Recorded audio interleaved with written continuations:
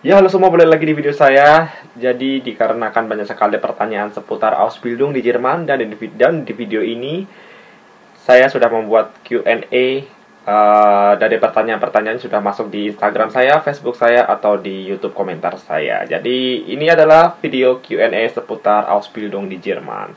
Yang pengen Ausbildung di Jerman, tonton aja video sampai akhir. Jadi, check this one out.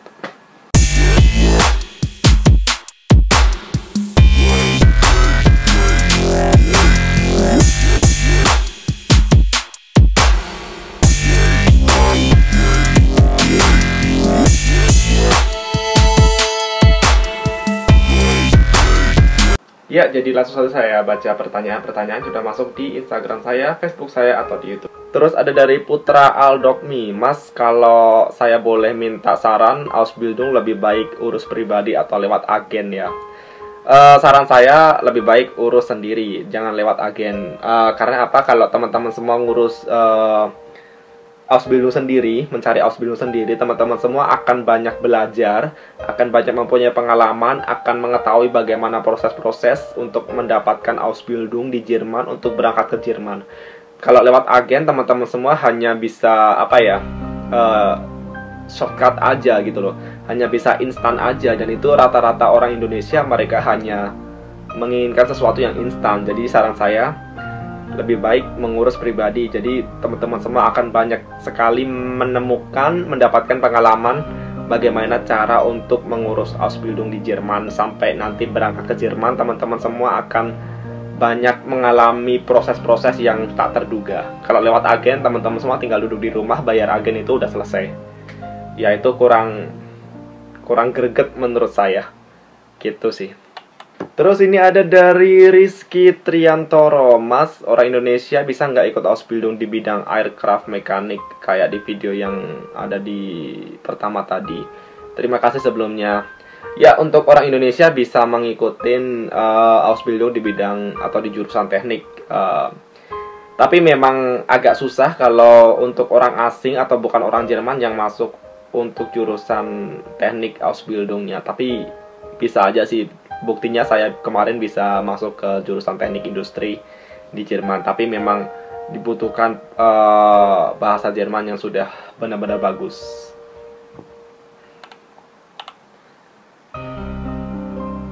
Terus ada dari Z tes uh, Bang kalau udah lulus Ausbildung bisa lanjut S1 enggak? Uh, bisa. Ada teman saya kemarin dia udah Ausbildung terus lanjut S1 banyak jadi bisa Terus ada dari Firman Nanda, bikin video dong bang, syarat dan ketentuan Ausbildung di Jerman, apa aja yang diperlukan, contohnya sertifikat bahasa, ijazah, dan lain-lain.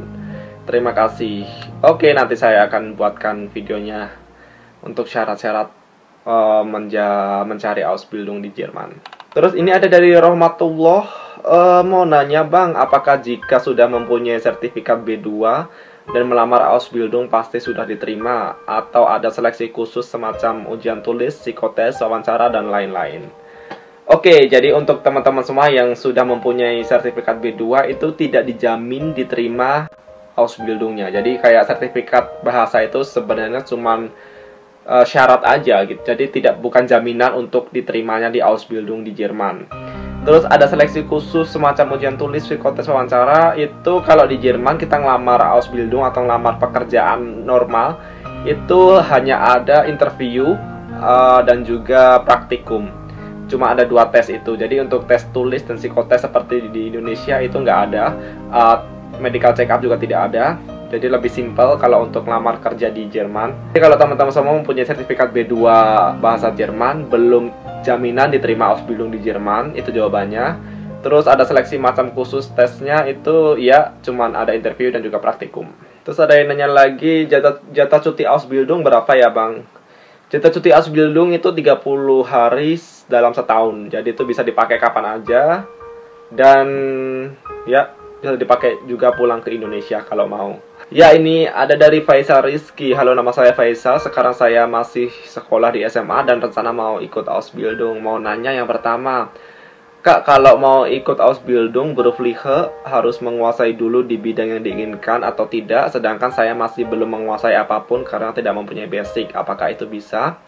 Terus yang kedua untuk Ausbildung apakah ada pemecatan atau DO untuk setiap orang yang ikut ke sana terjamin 100% lulus atau tidak? Karena apa? Jawabannya pertama itu teman-teman semua jangan khawatir kalau belum mempunyai basic atau pengalaman di bidang yang mau diambil dalam Ausbildung nanti jangan khawatir karena uh, di Jerman tidak apa namanya untuk untuk mau Ausbildung tidak diperlukan pengalaman dulu gitu. Jadi kalau belum mempunyai basic atau pengalaman kerja itu gak masalah gitu. Jadi lamar aja Ausbildung pokoknya nanti di Ausbildung akan diajari semuanya. Terus yang kedua apakah ada DO atau pemecatan? Jawabannya iya karena di Ausbildung itu ada yang namanya uh, passing grade nilai yang harus dicapai dan juga ada dua ujian. Dari ujiannya itu tuition Prüfung dan juga Abschlussprüfung jadi kalau di tuition Prüfungnya nggak lulus atau nilai yang jelek ya ya udah bisa keluar gitu.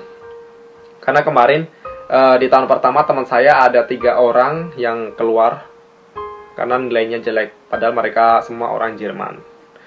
Ya itu jawabannya untuk Faisal Rizky. Ya itu tadi beberapa pertanyaan seputar Ausbildung di Jerman. Jadi buat teman-teman semua yang masih mempunyai mimpi ke Jerman pengen Ausbildung pokoknya langsung aja belajar bahasanya jangan menyerah. Pokoknya selalu berusaha mencari lowongan Ausbildung di Jerman. Jadi kalau bisa saran saya itu ngurus aja sendiri jangan pakai agen. Karena kalau ngurus sendiri teman-teman semua akan banyak mendapatkan pengalaman, akan banyak belajar, akan banyak uh, apa namanya menemui proses-proses yang di luar dugaan dan pokoknya yang pasti lebih murah kalau ngurus sendiri daripada lewat agen gitu. Jadi buat teman-teman semua jangan menyerah meraih mimpi ke Jerman. Di mana ada niat usaha, pasti di situ ada jalan. Sekian video Q&A dari saya. Salam dari Jerman. Ciao.